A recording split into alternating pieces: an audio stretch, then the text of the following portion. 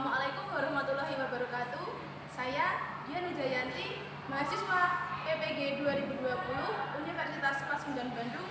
Selamat menyaksikan video PPL 2 yang telah saya buat. Assalamualaikum warahmatullahi wabarakatuh. Waalaikumsalam warahmatullahi Waalaikumsalam warahmatullahi wabarakatuh. Ya, Budian ulangi. Assalamualaikum warahmatullahi wabarakatuh. Waalaikumsalam warahmatullahi wabarakatuh. Selamat pagi anak-anak. Masih semangat? Semangat Pagi. Semangat ya? Ya. Coba senyum, giginya kelihatan. Sudah pada gosok gigi? Sudah mandi? Sudah. Alhamdulillah. Oke, untuk mengawali kegiatan pada pagi hari ini, coba Mas Farid dipimpin doa.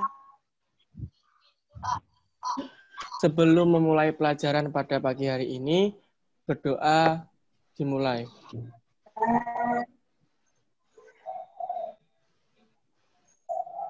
Berdoa selesai. Alhamdulillah. Bagaimana kabarnya hari ini? Alhamdulillah Baik, baik, Bu. Bu. Alhamdulillah. Sehat ya? Tetap semangat belajar dari rumah karena memang sekarang masih dalam keadaan daring ya. Masih dalam Iya. masa pandemi. Kalian harus tetap semangat walaupun kalian harus belajar mandiri secara daring di rumah. Nah, anak-anak jangan lupa tadi sudah absen belum pada Google Form yang sudah Budian share di grup? Sudah. Sudah absen ya? Iya, Sudah. sudah absen. Kalau ada yang belum absen, nanti silahkan absen setelah pembelajaran ini berakhir. Nah, selanjutnya tadi Iya. sudah download LKPD yang Budian share di grup di grup kalian. Tambahan ajarnya sudah di-download belum? Sudah. Sudah. Sudah belajar? Sudah. Sudah. Ya. Dan share dulu.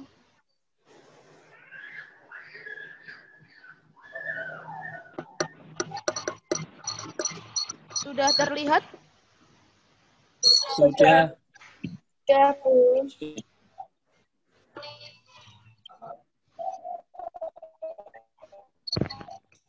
Hari ini kita belajar tentang apa? Anak-anak? Sistem gerak pada manusia. Ya, Sistem sistem gerak pada gerak pada manusia. Manusia. Ya, tujuan pada pembelajaran kali ini adalah melalui pelajaran ini, kemudian harapkan kalian dapat menganalisis struktur tulang pada manusia. Yang kedua, kemudian harap kalian dapat membandingkan macam-macam tulang berdasarkan bentuk dan jenisnya. Lalu yang ketiga, melalui pengamatan video percobaan, kalian Budian harap dapat membuat kesimpulan dari hasil percobaan dengan tepat. Nah, anak-anak, coba kalian lihat animasi apa ini? Orang sedang apa? Orang Gerak. Yang paling kiri, orang sedang Lari. berlari. Yang tengah ini, orang sedang Jalan. ya berjalan.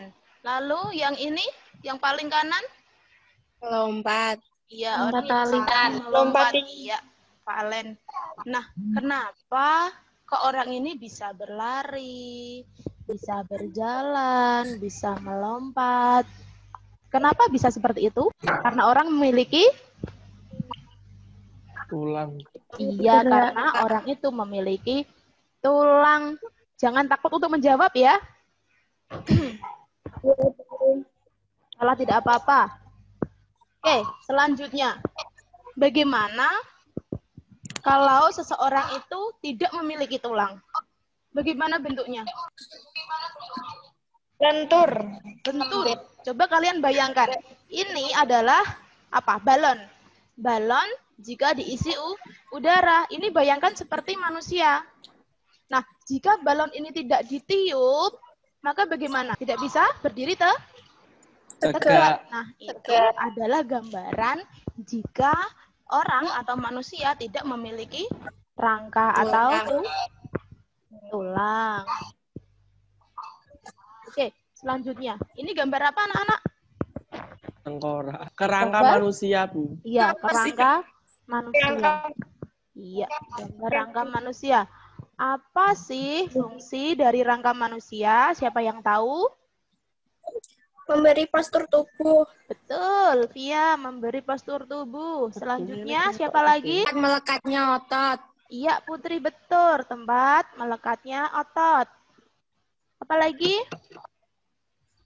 Sebagai pasif. Iya, betul. Sebagai alat gerak pasif. Nah, di sini adalah fungsi dari rangka manusia. Bisa kalian baca. Jadi fungsi rangka yang pertama memberikan postur tubuh. Yang kedua, tempat melekatnya otot.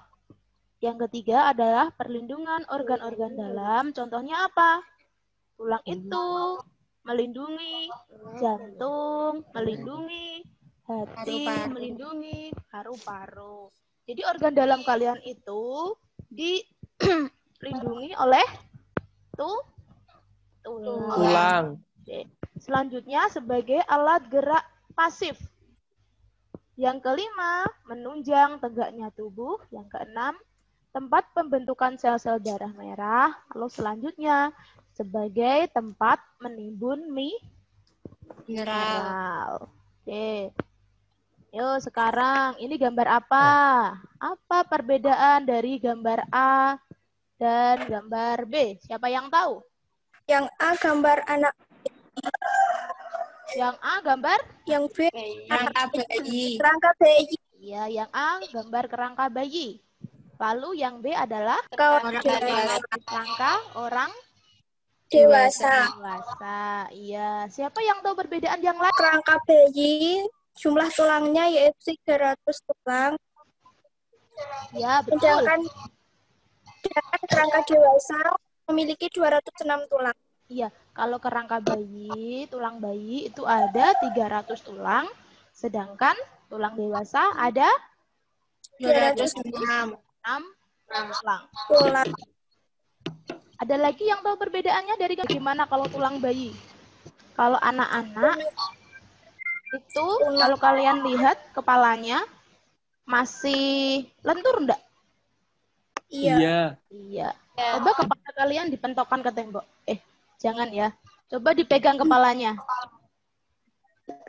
Keras Keras. enggak? Keras, iya. Jadi Keras. kebanyakan anak-anak itu memang eh, tulangnya masih bersifat tulang kartilago. Tahu tulang rawan. Kalau orang dewasa itu kebanyakan tulangnya sudah menjadi tulang ke Keras. keras. Hmm. Selanjutnya, silahkan kalian perhatikan video berikut.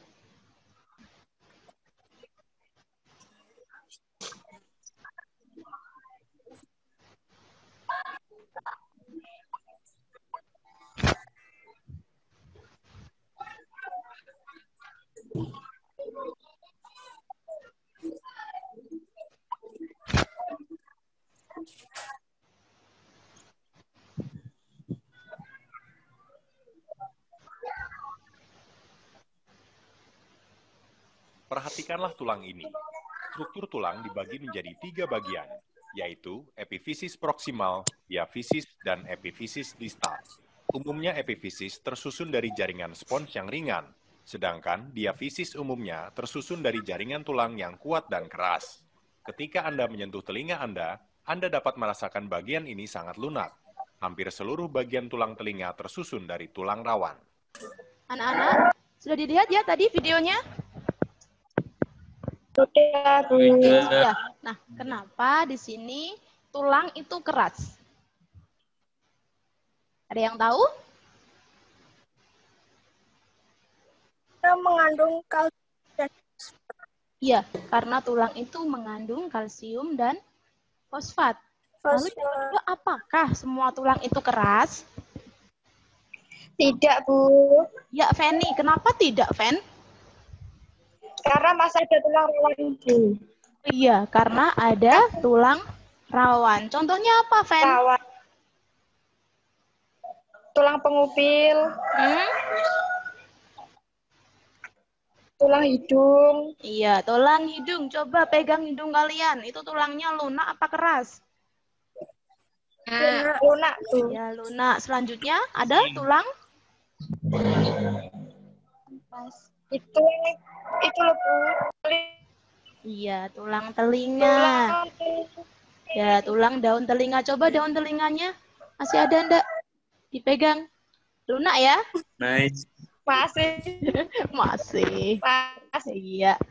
Selanjutnya ada struktur tulang. Coba siapa yang bisa tadi menyebutkan dari video struktur tulang? Siapa yang tahu struktur dari tulang pada gambar tersebut? Nomor satu itu apa?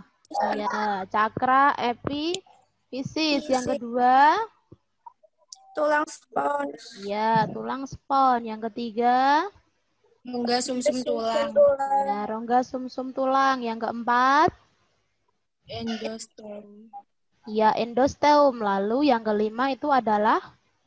Artikulasi, artikulasi. Oke, selanjutnya.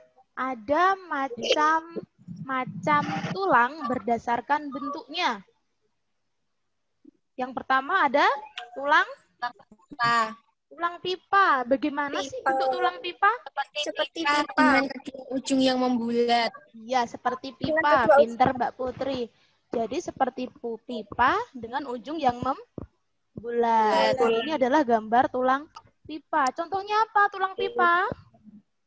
Tulang lengan atas, Ya, tulang hasta, ya. tulang Iya, betul. tulang Tulang paha, lengan atas, ada tulang Tulang- paha. Oke, selanjutnya Tulang ada tulang pipi, ya tulang pipi. Apa eh, contoh dari tulang pipi? tulang ubun-ubun, tulang Ya, tulang ubun-ubun. Nah, tulang Tulang pipi itu bentuknya seperti apa, Nana? gepeng, pipi atau Ya, kayak gepeng, betul. Atau pipi ya. Selanjutnya ada tulang Iya. pendek. Kalau tulang pendek itu bentuknya seperti apa? Kubus pendek atau bulan. Ya, berbentuk kubus, pendek. Contohnya terletak di mana tulang pendek itu? tulang jari-jari, tulang tangan, Iya, tulang jari-jari, tulang tangan. Ya, ada tulang ruas-ruas, tulang be belakang. Itu juga termasuk tulang pendek. Selanjutnya, ada tulang tak beraturan. Jadi bentuknya bagaimana? Tidak. tidak beraturan, Nah, contohnya ada ini. Tulang rahang bah bawah di sini. Nah, selanjutnya adalah macam-macam tulang berdasarkan jenisnya. Ada dua, yaitu tulang keras dan tulang Keras. kawan, tulang Rawan. tulang rawan atau tulang kartilago. Untuk tulang keras di sini dibentuk oleh sel-sel pembentuk tulang atau oste osteoblas. Ruang antar selnya keras, banyak mengandung zat kapur, sedikit zat pereka- perekat sehingga bersifat Keras. keras. Dalam tulang kartilago disebut juga dengan tulang rawan, rawan. Nah, di sini tulang rawan atau tulang rawan atau tulang tulang kartilago merupakan sejenis jaringan ikat lentur yang terdapat di berbagai anggota badan manusia. Tadi sudah tahu ya contohnya tulang keras dan tulang kartilago ya. ya. Bu, Ya, apa tadi contohnya? Tulang keras pada apa? Tulang? Tulang paha? tulang Apa Fen? Tidak terdengar. Tulang, lengan, atas. Kalau tulang kartilago tadi pada? Daun telinga sama hidung. Ya, daun telinga sama hidung. Nah, sini, tahukah kalian bahwa tulang paha merupakan tulang terpanjang dan terkuat? Tulang itu lima kali lebih kuat daripada sepotong baja yang beratnya sama dengan tulang. Nah, selanjutnya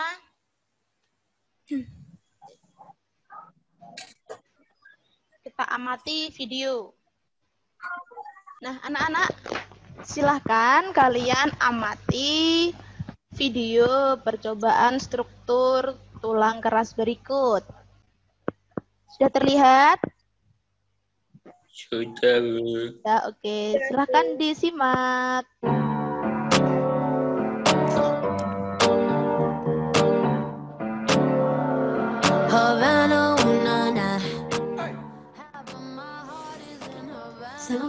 Warahmatullahi wabarakatuh.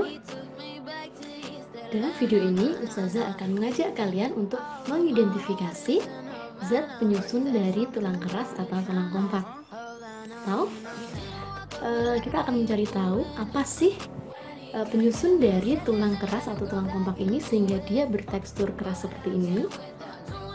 Baik, Ustazah sudah menyiapkan yang pertama tulang, ini tulang paha ayam yang sudah Ustazah bersihkan. Bisa dilihat. Ya. Kemudian Ustazah menyiapkan cuka, ini cuka dapur. Kemudian Ustazah menyiapkan dua gelas yang Ustazah beri label A dan B. Kemudian lagi air biasa. Ya. Yang pertama Ustazah akan menuangkan air pada gelas A. Gelas A Ustazah isi dengan air.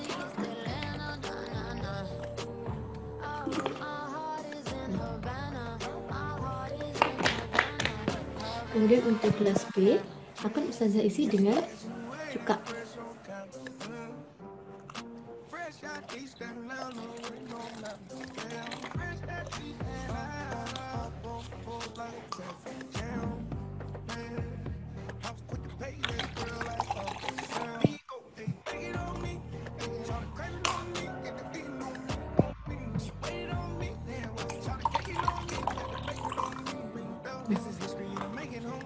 Kemudian tulang paha ayam ini salah satu akan Ustazah masukkan ke air biasa dan salah satunya akan Ustazah masukkan ke air cuka. Karena cukanya cuma sedikit Ustazah masukkan yang kecil. Dan ini sebenarnya e, mereka adalah satu paha ayam ya berisi dua dua tulang ini. Yang gede Ustazah masukkan ke air. Yang kecil Ustazah masukkan ke air cuka kemudian kalau sudah kita tunggu selama 3 sampai 4 hari. Setelah 4 hari didiamkan hasilnya seperti ini.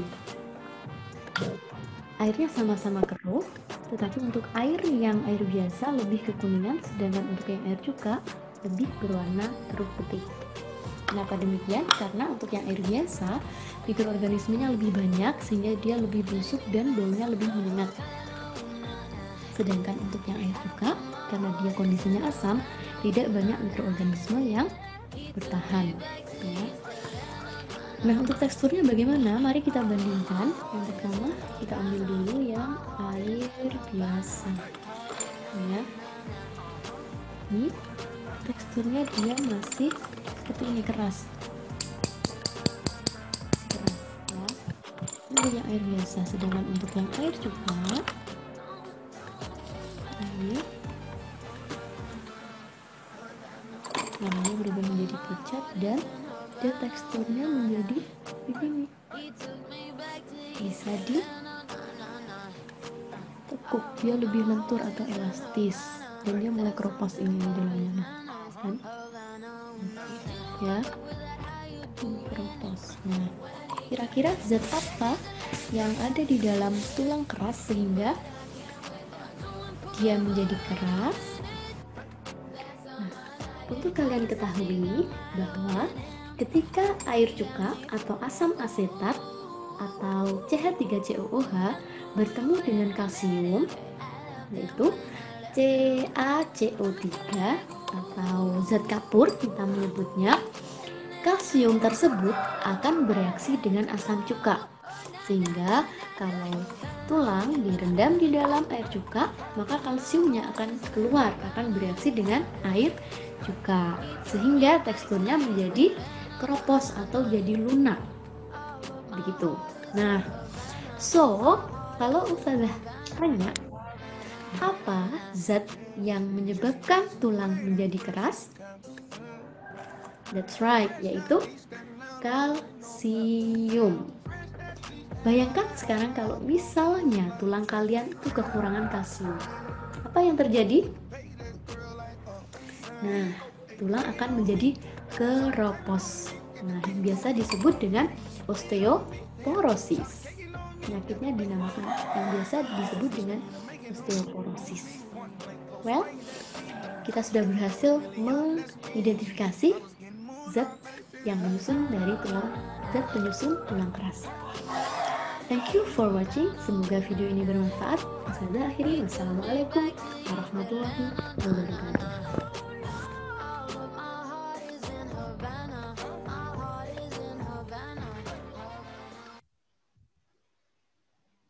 Oke, sudah dilihat tadi videonya? Sudah. Sudah. Kalau sudah, sekarang tadi video yang Budian tampilkan sudah Budian share melalui Google Classroom kalian ya. Nah, sekarang silahkan eh, kalian kerjakan LKPD yang ada eh, pada Google Classroom juga yang tadi sudah kalian download. Saya beri waktu 15 menit dari sekarang. Selamat mengerjakan.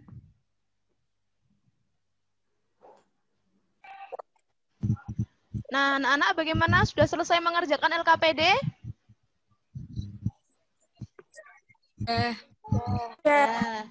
Yuk, sekarang siapa yang ingin mempresentasikan hasil dari pengamatan video praktikum struktur tulang keras tadi?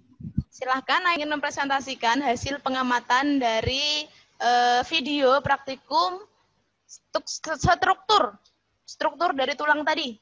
kekerasan tulang, keadaan sebelum direndam pada air cuka, keadaan setelah direndam, air cuka, tulang menjadi lunak, pada air biasa, tulang tetap keras.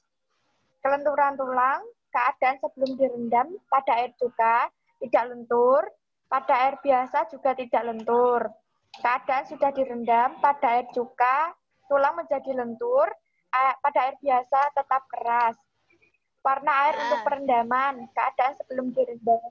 Cuka bening, pada air biasa juga bening. Keadaan sudah direndam, air cuka menjadi kurang keruh, air biasa keruh. Bau dari air perendamannya, keadaan sebelum direndam, air cuka tidak berbau, air biasa tidak berbau. Keadaan sudah direndam, pada air cuka berbau asam, pada air, air biasa berbau busuk atau menyengat. Pengeroposan tulang. Keadaan sebelum direndam, air cuka tidak keropos, air biasa tidak keropos. Keadaan sudah direndam pada air tulang menjadi keropos, pada air biasa tulang tetap keras. Ya. Sudah, Bu. Iya. Ada yang lain? Sama semua? Bagus ya? Ya, betul. Jadi, kekerasan tulang pada keadaan tulang sebelum direndam itu pada air cuka dan air biasa itu tetap keras ya tulangnya ya. Tapi dalam waktu empat hari perendaman, Bu. kekerasan tulang pada air cuka itu menjadi tidak tidak keras pada air biasa tetap keras. Tetap selanjutnya untuk ke- kelenturan tulang eh, sebelum direndam eh, dengan cuka dan air itu tetap keras. Iya pada keadaan setelah direndam air cuka tulangnya menjadi Tentu ya lentur pada air Lentur. biasa tulangnya tetap keras keras. untuk warna air tetap keras. Ya, sebelum direndam itu airnya air cuka dan air biasa warnanya bening. Tapi Bening. setelah mengalami perendaman selama empat hari, pada air cuka keruh, pada air biasa juga keruh. Tapi lebih keruh mana? Air biasa. Air. Ya, air biasa. Lalu untuk baunya, keadaan sebelum direndam tidak berbau, tetapi setelah direndam selama empat hari, pada air cuka baunya Asam. Asam. pada air biasa baunya me Busuk. Atau iya, busuk atau menyengat. Nah, untuk pengeroposan tulang, setelah sebelum direndam mereka tetap tulangnya tetap keras, tapi setelah direndam dengan air cuka, tulangnya ke Menjadi keropos. menjadi keropos pada air biasa tetap Keropos. tetap Keras. keras. Oke, selanjutnya di sini siapa yang ingin menjawab pertanyaan yang pada LKB nomor satu? Saya Bu, Vina. Oh iya, Vina, silahkan.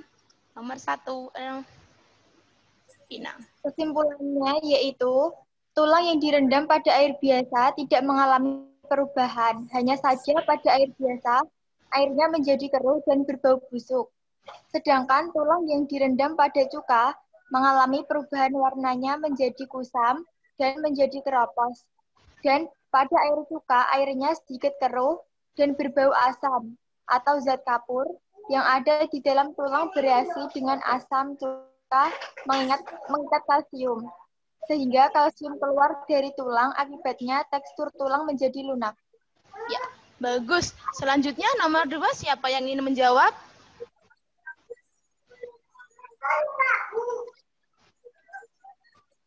Nomor dua, Saya, Bu. ya sebutkan nama. Iya. Ya, coba dijawab soal nomor dua.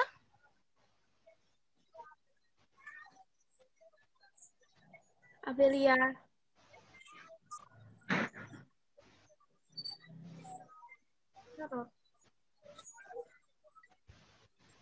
Ya, Abelia, Abel, Bu. nomor dua. Ya, Abel, nomor dua. Tuliskan fungsi peredaman menggunakan. Jawabannya yaitu untuk mengikat kalsium sehingga kalsium keluar dari tulang dan mengakibatkan tulang menjadi lunak. Iya, betul. Selanjutnya, nomor tiga, siapa yang mau menjawab? Saya Via. Oh ya, Via.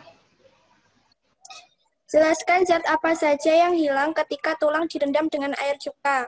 Jawabannya, zat yang hilang pada tulang ketika direndam dengan air cuka yaitu zat kalsium.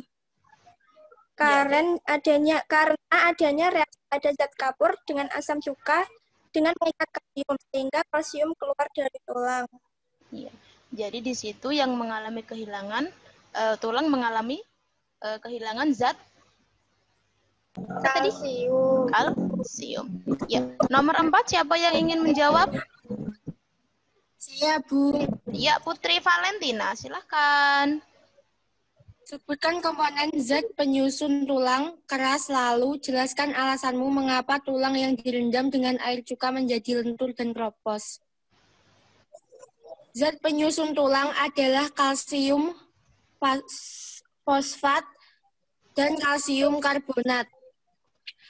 Karena adanya reaksi antara zat kapur dengan asam cuka yang mengikat kalsium sehingga tulang menjadi keropos. Betul sekali. Oke, selanjutnya nomor lima. Siapa yang ingin menjawab? Saya Iya, Mela.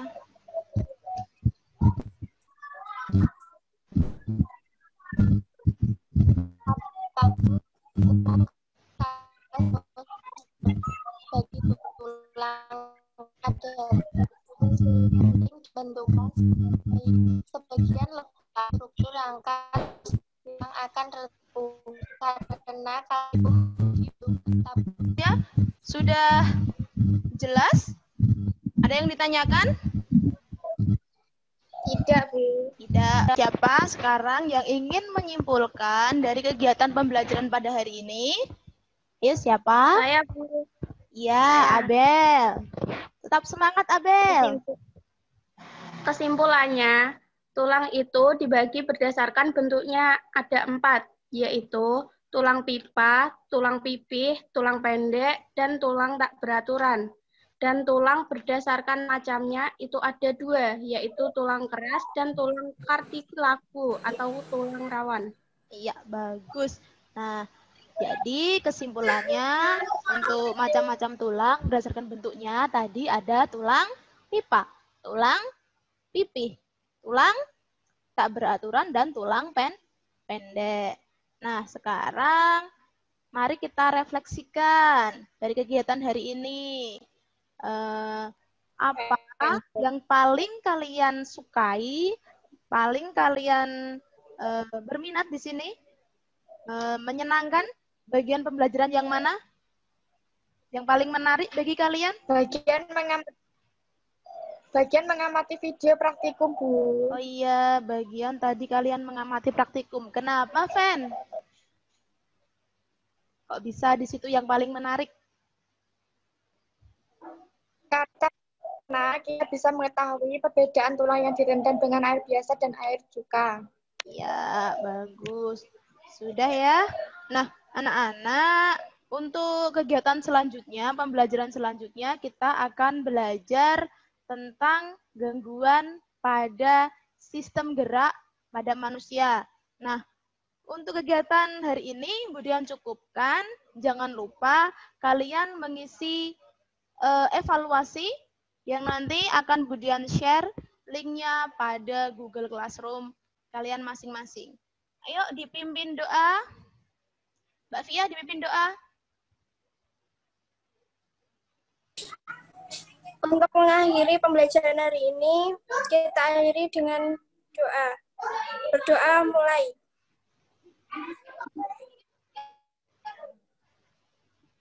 Berdoa selesai. Saya cukupkan sekian. Terima kasih. Wassalamualaikum warahmatullahi wabarakatuh. Waalaikumsalam warahmatullahi wabarakatuh. Tetap semangat anak-anak. Jaga kesehatan, jaga kebersihan. Terima kasih.